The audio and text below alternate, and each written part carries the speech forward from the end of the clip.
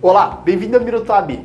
Hoje nós vamos fazer a diferenciação de alguns princípios da ação penal pública e da ação penal privada. Começando com o nosso primeiro princípio, o princípio da obrigatoriedade. O Ministério Público, quando recebe as provas ou o inquérito policial e verifica que existem elementos suficientes, deve obrigatoriamente ofertar a denúncia contra o réu. O Ministério Público não pode optar entre oferecer ou não a denúncia. Existindo elementos suficientes, deve obrigatoriamente oferecer a denúncia contra o réu. O que não acontece na ação penal privada, pois existe o princípio da oportunidade. A vítima ofendida ou representante legal, ou seja, o querelante, pode optar entre iniciar ou não a ação por meio da queixa-crime. Não tem a obrigatoriedade como na ação penal pública. Segundo princípio, princípio da indisponibilidade. Uma vez ofertada a denúncia e iniciado o processo, o Ministério Público não pode desistir da ação. Isso não quer dizer que o órgão acusatório não possa, por exemplo, pedir a absolvição do réu depois que verificar, por meio das provas, que de fato ficou comprovado que ele não praticou delito. Não quer dizer que o Ministério Público então não possa pedir absolvição. Quer dizer que ele não pode desistir da ação, deve ir até o fim da ação depois que ela se iniciar.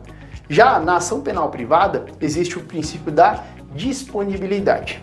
Imagina só que o querelante, ele iniciou o processo, apresentou a queixa-crime, mas lá no meio ele se sente desgastado e ele não quer mais continuar o processo. Na ação penal privada, então, o querelante pode desistir da ação? Pode. Princípio da disponibilidade. Ao contrário do Ministério Público, o princípio da indisponibilidade, que ele não pode desistir da ação. O querelante pode desistir? Pode. Último princípio, o princípio da divisibilidade.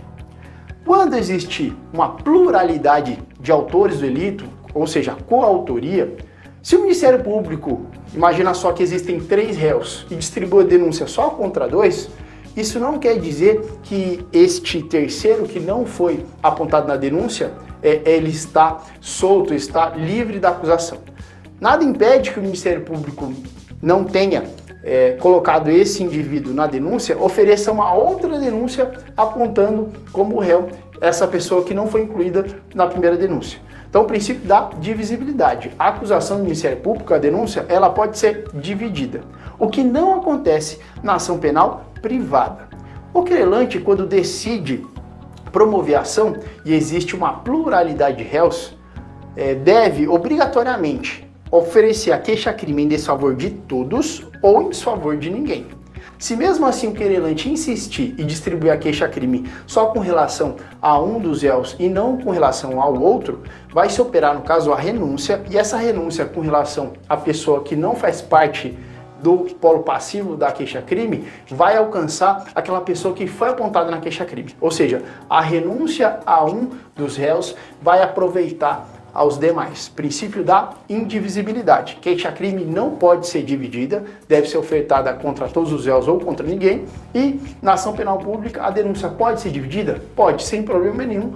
Pode, numa primeira oportunidade, o Ministério Público fazer a denúncia contra alguns réus e futuramente contra o outro em uma denúncia separada. Espero ter gostado da aula de hoje e continue acompanhando.